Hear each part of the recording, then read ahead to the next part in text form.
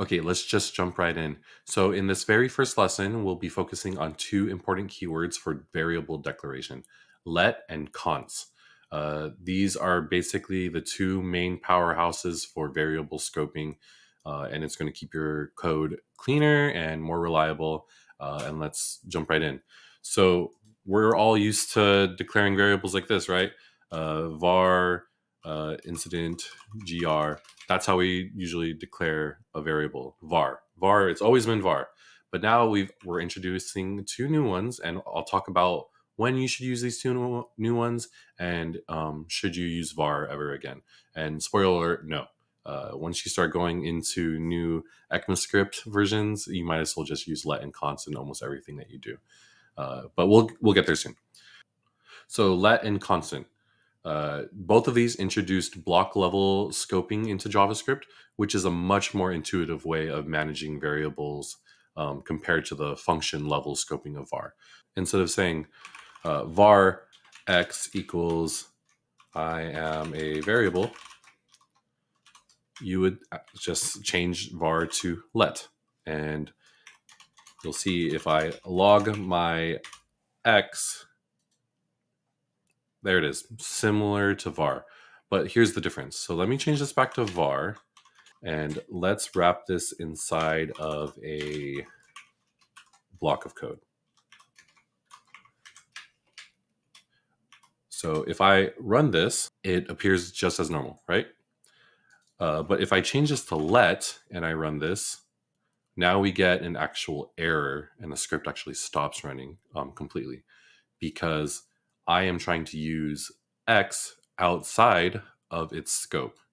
So X in here was defined uh, inside of this uh, block of code, and therefore it is only referenceable in that same block of code.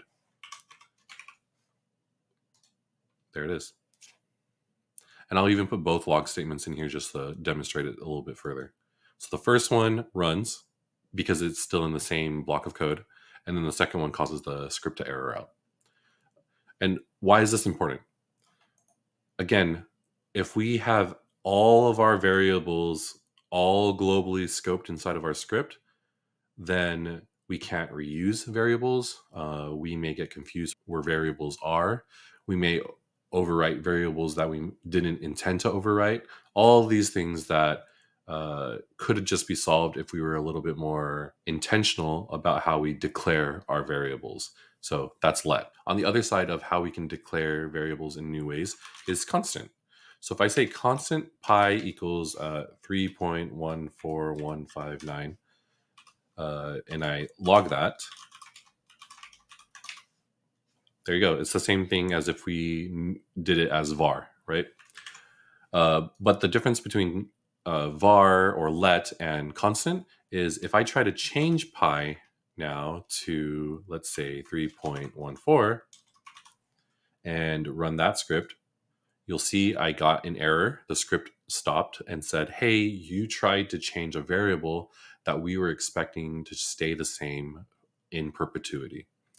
And that is a good thing because now, again, with these new uh, let and constant declaration uh, variables, we are a lot more explicit with what we're expecting to happen with these variables. And so oftentimes uh, we may have a variable and we know it shouldn't change. Why not just declare it as a constant so that we don't accidentally change it later? And that's the whole point of constant.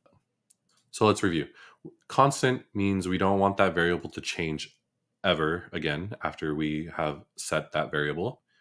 And then let means we do want it to be able to change uh, eventually throughout the, the script. The basic standard practice is use constant for all of your variables unless you know they will change. Uh, it's going to reduce errors and it's going to make your code's intent so much more clearer. Uh, and then that conversation of, well, now that we have let and constant, when should I use var? Generally speaking, don't use var anymore. Uh, there's going to be very limited use cases where you want all your variables to immediately be declared in a global scope. And so, generally speaking, let and uh, constant will be your friends forever now in the new ECMAScript. And that's your first lesson. By properly scoping your variables, you're going to make your code much more predictable and a lot easier to debug. Cool. I'll see you in the next lesson.